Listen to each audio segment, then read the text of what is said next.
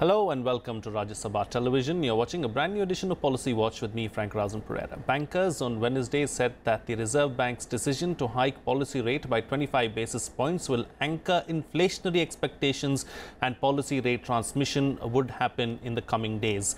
Anticipating policy rate hike, many big lenders including SBI, ICICI Bank and HDFC Bank have already increased their benchmark lending rate by up to 0.1%. In the second bi-monthly monetary policy announcement for the current fiscal, RBI for the first time in four and a half years raised the key interest rate by 25 basis points to 6.25%. The six-member Monetary Policy Committee headed by RBI Governor Urjit Patel also decided to retain projection of GDP growth for 2018-19 at 7.4% with risks evenly balanced around this number. In our first segment of Policy Watch today, we will analyze the RBI monetary policy.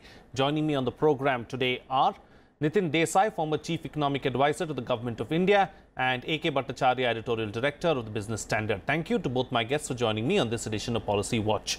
Mr. Desai, I'd like to begin with you first. Uh, what was uh, the reason for which the RBI raised the uh, key lending rates at 25 basis Well, points? the reasons that they have given, as they appear now, though we should wait for the minutes, is that there is some uh, uh, uptick in inflation numbers 4.8, 4.9.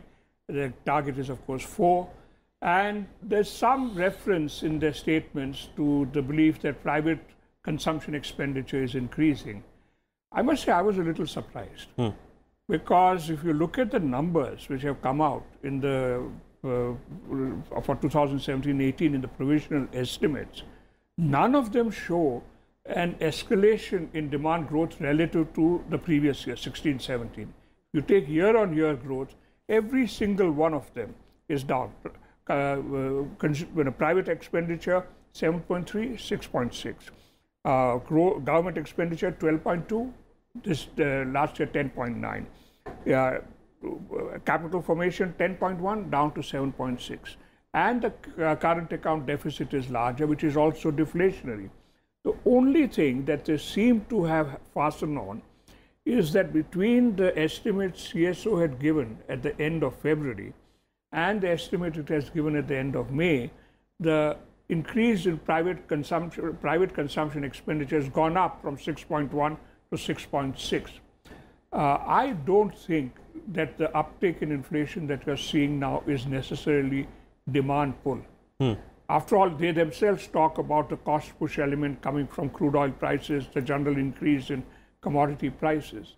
And I just wonder whether this is the right time for an increase in interest rates at a time when the economy seems to be coming out of, a relative, of every investment seems to be slowly picking up. And maybe some spending is also picking up. So do you think that the committee should have waited till August then? Well, I would have said that I would have waited uh, for another quarter before jumping to this conclusion. But the fact is, it is unanimous.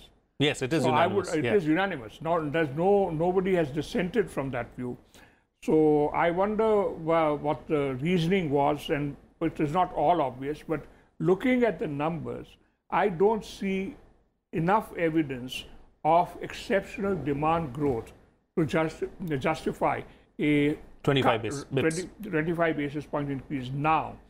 Uh, and I don't see that in the credit offtake Sure. also. Sure. Mr. Bhattacharya? Mr. Desai said that he was surprised. He, he hoped that, you know, they'd have waited for another quarter.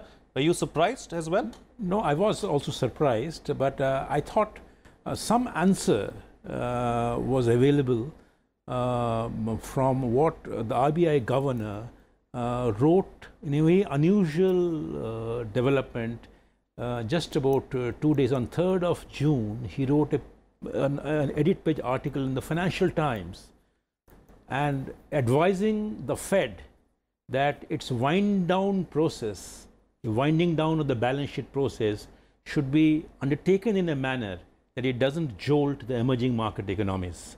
Now, this was an unusual move by a central bank governor advising the governor of another central bank uh, to, uh, to take into account that what is uh, happening in emerging market economies should be their concern as well. Raghuram Rajan also talked about it, but Urjit Patel, the current central bank governor, has thought it fit to write a piece in a newspaper. Now, why I'm raising this issue is because I feel that the decision to raise 25 basis points repo rate is linked not so much to the Indian economy, but to the fears that there may be a money pull out, flow out of the economy into the US, the developed market economies.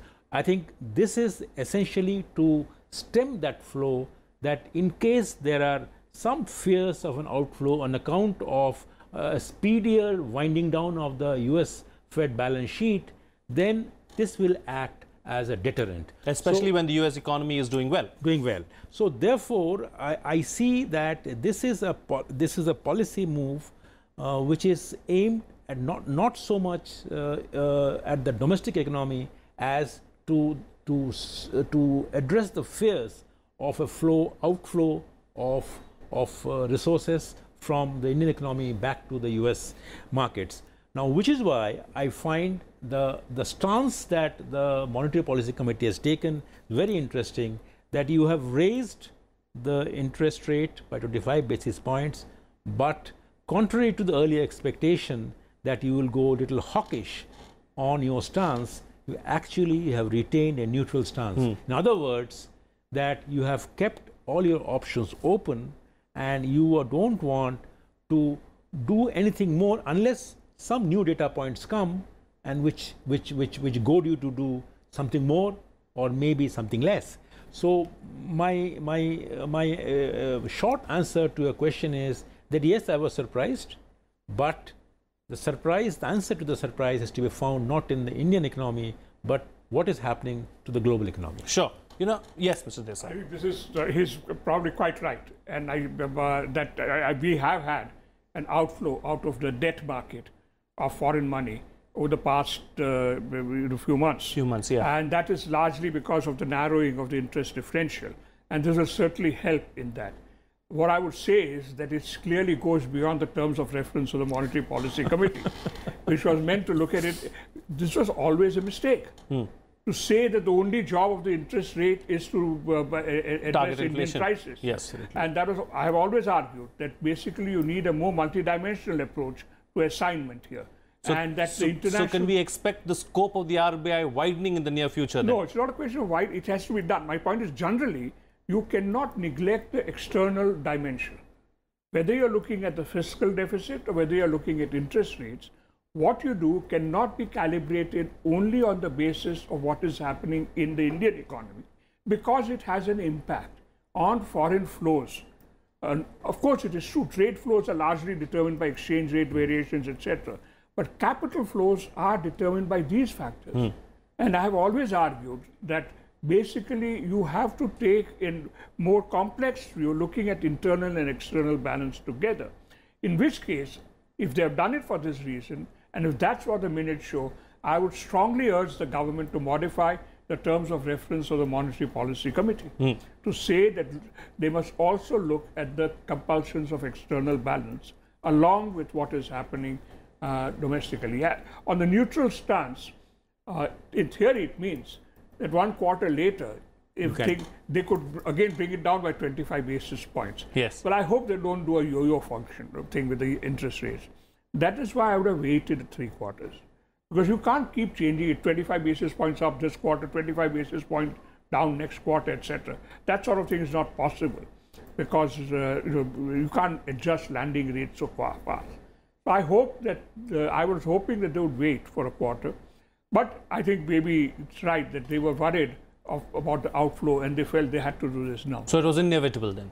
Yeah. I would say that. Uh, it was to some extent it was unavoidable. Okay. And uh, in, in fact, we have been saying some of us have been saying this for some time. It happened, in fact, on this program a little while some while ago, when one gentleman was arguing we should reduce interest rates. I said, please, for God's sake, don't do that. You'll face a real problem on the uh, external front if you do mm. that. So I wouldn't be entirely unhappy, but it will be a, there will be a price.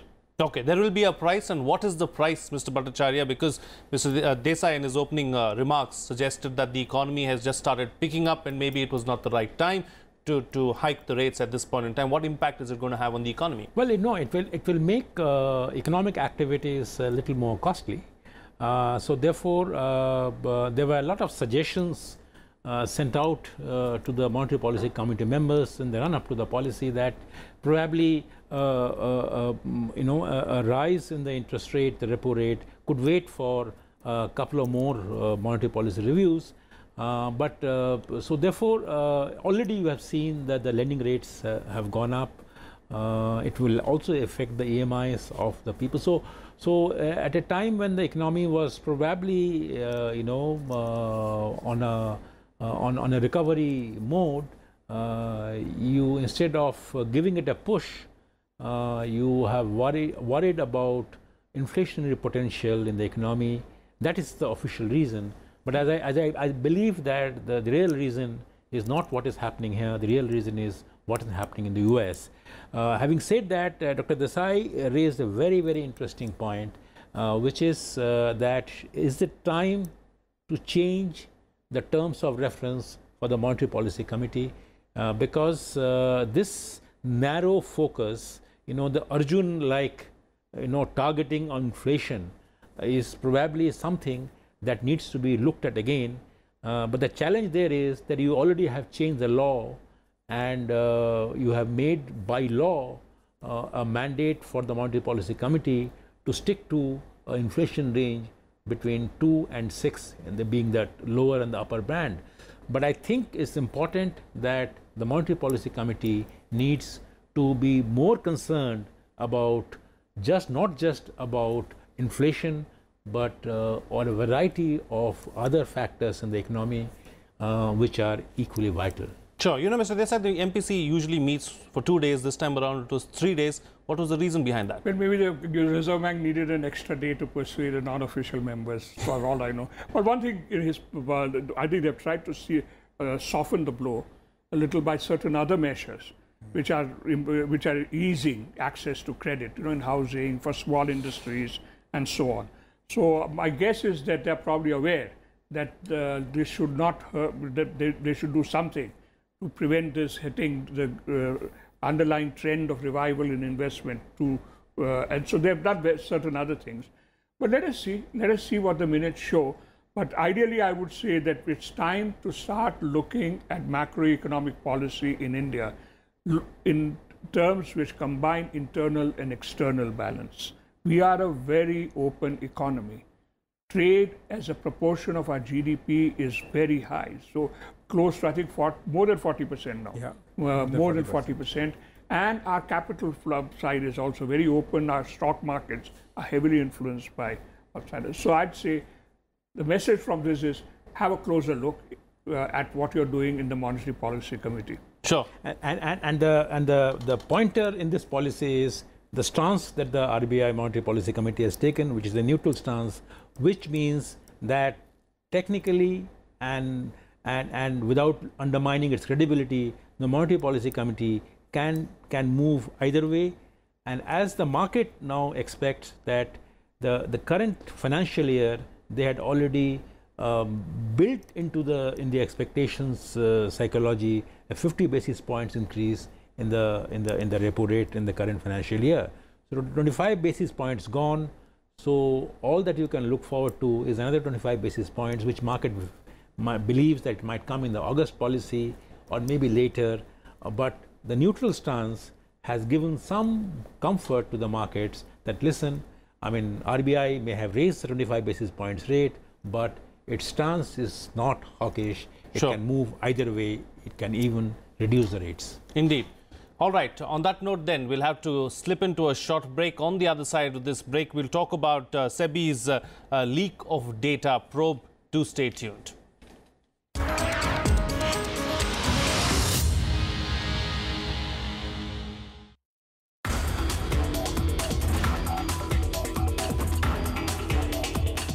Plastic is not a problem. Only human factor only. We don't have proper garbage culture. Industry produces and market it and forget it. Consumers use it and forget it. And the corporation collects it, dumps it, forget it.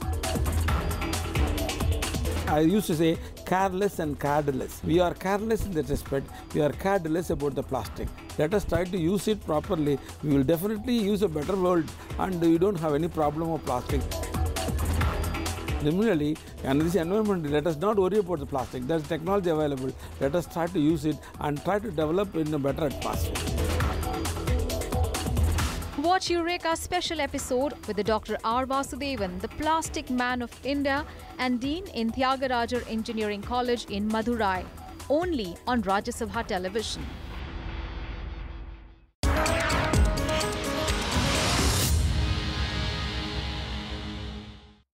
Welcome back. You're watching Policy Watch with me, Frank Rausan Pereira. SEBI will soon take action against some market operators and senior staff members of about a dozen listed blue chip firms for their alleged involvement in leak of price sensitive information through WhatsApp. The companies may also face censure action by the market watchdog for alleged lapses in safeguard mechanism to check leak of unpublished price sensitive information, including financial results before they were made public for all investors. The regulator is close to completing its probe into the matter, including for suspected unlawful gains through insider trading on the basis of leaked information and is collating the details it had sought from all concerned companies. In our next segment of Policy Watch, we will analyze how to deal with price sensitive information. Still with me on the program are Nitin Desai, former Chief Economic Advisor to the Government of India, and A.K. Bhattacharya, Editorial Director of the Business Standard. Mr. Bhattacharya, so what is SEBI's probe all about? Well, you know, uh, there are two aspects that we need to be conscious of. One is uh, the sensitive information about uh, any company which is a listed entity on the stock exchanges being shared uh, with uh, a few uh, privileged shareholders or non-shareholders even so that they can manipulate the market or play in the market to their benefits. So that's something that SEBI is looking into it because in this case uh, it seems uh, that uh, um, the, the, quarterly results of these companies, which are more or less the same as which finally got announced on the scheduled day and made public to the stock exchanges, were available to some individuals, groups beforehand. of individuals beforehand. So that's something which is a strict no-no under any stock market regulation uh, and SEBI uh, is actually uh, should have taken action against such instances yesterday, in my view. Why, why even talk about it? Why yes. late? In my view, they are already late because such uh, their actions actually uh, uh, shake the confidence of the investors, the shareholders in the company. So therefore, that's one aspect. The second aspect is that whether the law is uh, strong enough and foolproof to tackle sharing of such information on a device like WhatsApp. Hmm. Now, WhatsApp, as we know, uh, can claim uh, uh protection under the privacy rules. That one, that it is a, a, closed user group, so it is not uh, as uh, is not comparable to something being made public through an email or through an advertisement or through a press conference. So it is something that you and I or uh, Dr. Desai are sharing in a certain closed group forum. Uh, and the second element is that whether the SEBI is within its powers or does it have the requisite access to ask WhatsApp to make public that information. That information. Now, as you know, that WhatsApp is now part of the huge global giant called Facebook. Now, WhatsApp's data remains encrypted. WhatsApp data remains virtually inaccessible to the Indian government authorities. Right. Now, under these circumstances, so the, the first question that I raised is easy to resolve that any company sharing information which is class sensitive and classified to a group of uh, people before it is publicly shared is something that should be immediately be acted on. Right. But the second part, if it is done through a forum like WhatsApp, through a closed user group, how do you tackle it? How does the closed user group has a different protection under the law, and second, whether the SEBI, the market regulator, has access or be able to enforce its orders on a on a company like WhatsApp, which is now part of a global uh, Sure. t- technology giant Facebook. Sure, the So second are the problem is extremely complex. Complex. You know, uh, Mr. Desai, how do we deal with this problem? I would say first, uh, the starting point uh, to me should be SEBI should regularly monitor exceptional transactions. There are always transactions taking place, Yes. but whenever I get something exceptional, then it's worth probing what lies behind this. Now, you, not every exceptional transaction is bad necessarily, because really the problem is, is that when you manipulate news, we are talking in terms of correct news being uh, shared with, with- with a privileged group, which allows them to speculate.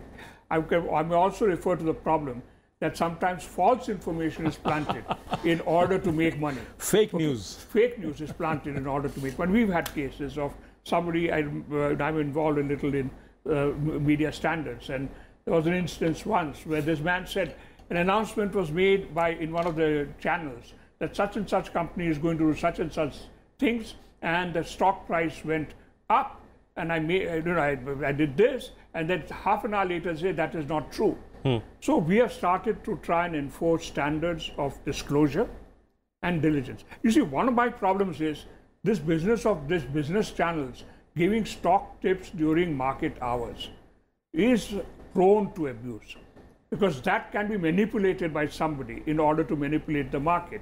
In many countries, it's just not prohibited. It's just not allowed. Not allowed. Yeah, prohibited? It's prohibited completely. And here we do that, and, I- and of course, many of them say that we can't survive if we don't do this. The only guys who watch us are hunters. So I'd say that let SEBI start by monitoring exceptional transactions and then work back as to what this could be due to. Any sharing of actual information by anybody in a company with anybody else, which is not public, is, I think, uh, an offense under the insider uh, uh, trading. It is an offense. it is an offense, It yes. is an offense and it has to be prosecuted. I happen to be on the board of one company, and on that company, I do not get information on the quarterly uh, results except on the day it is going to be announced. I have no advance information. It's only then that they make it available to us. So I think companies must enforce a certain standard or, or- or- also. So as far as WhatsApp, I don't see this issue as an issue. After all, if I can tap, if I, if I can get information, if I make a phone call to you and give you information, uh, that can be monitored, and that is monitored. You, we have a famous case.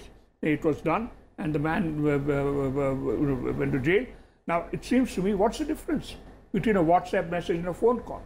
If I have the right as a government to get uh, information about a phone call, it seems to me I can claim the right to get information about any WhatsApp message which is exchanged uh, for reasons which are illegal. For reasons which are illegal. So I would say this is something we must tackle because now with the ownership of the stock mar- stocks widening, many young people, independent people investing in stocks, we must ensure that this is a market which is a fair, open, and transparent market and not manipulated. Insider trading is a terrible problem in India. Manipulation of markets by operators is a big pro- problem. Uh, and so on. We always have this thing, you know, oh, the bears are taking over, the bulls are taking over. Nobody should take over. Yes. All right. You know, uh, uh, Mr. Bhattacharya, at what level does this leak take place and who's usually involved? Well, you know, uh, obviously, uh, if this uh, information, as the SEBI uh, inquiry shows, that the results uh, that uh, were finally made public to the stock exchanges and the results that were made available to select user groups on the WhatsApp uh, platform were more or less similar, then it is very clear that uh, the company, uh, somebody in the company uh, must be involved. So the company has a lot of explanation to do, in my view.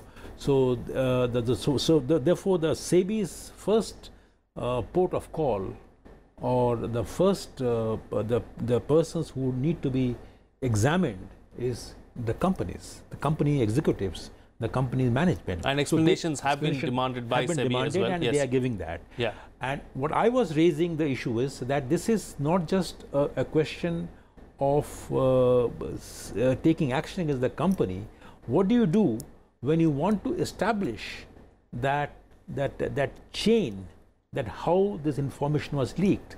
The problem with new technology like whatsapp uh, is that these servers don't reside in india. So therefore you have to have uh, uh, multilateral arrangements with different countries where these servers are residing um, and so that you have access. The enforcement agencies in india whether they are in the economic laws or they are in the stock market laws like the sebi must have access to those servers You know, this issue came up recently as well, where the cabinet committee decided to do something about it, where they said that these companies should have their servers within India itself, so that they can this take is with regard control. to the payment banks. Yes. All the payment uh, banks have been given time till September this year, that by which time they must have their servers in India or they may have uh, a duplicate server which the government or the, the regulators can access. So therefore, and today it is payment bank their servers and right now SEBI's access to WhatsApp and their servers and to to know where they are actually who sent that message originally how did it originate now this is not easy to get now if it is only a text message sms which which which goes on the telecom network uh, it is easier to track because Right. telecom companies are all registered here. They come under the Indian Telecommunication Act, Sure. which is fairly fairly stringent and therefore not be difficult. But when it comes on the internet uh, backbone, it is transferred through the WhatsApp. Then it gets out of a little bit of your hands, and therein you need multilateral arrangements with different countries. Right. You need to engage with these companies to create servers and may allow those servers to be accessed by Indian authorities. Sure. You know, uh, eventually, what's going to happen to this probe, uh, Mr. Desai, and if someone's found guilty, what's likely to happen? I would say that if the people who are found guilty are at the top of the company, I'd go to the extreme step of delisting the fellows. You cannot allow this, period. And uh, if it is lower down, then you would expect the company to take stern action, including dismissing these people. Otherwise, you would say you- this is the whole the threat. Do you blacklist the company as well? Yeah, well, blacklist is a different story, but uh, uh, delisting amounts to that, which means that stocks can't be traded in the Right. market.